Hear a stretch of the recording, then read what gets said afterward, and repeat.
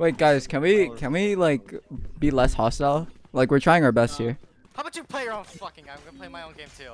Okay. Watch and learn, bro. Damn, he just said you're trash.